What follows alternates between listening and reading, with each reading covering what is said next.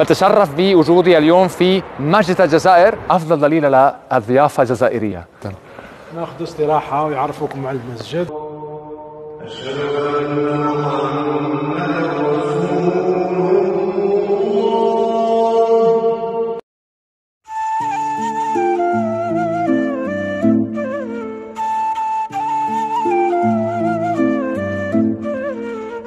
خمسة شمسيات دائما على حائط المحراب.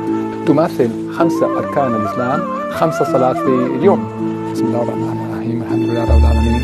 الرحمن الرحيم مالك يوم الدين. إياك نعبد وإياك نستعين. أهدنا الصراط المستقيم. صراط الذين أنعمت عليهم غير المغضوب عليهم ولا الضالين.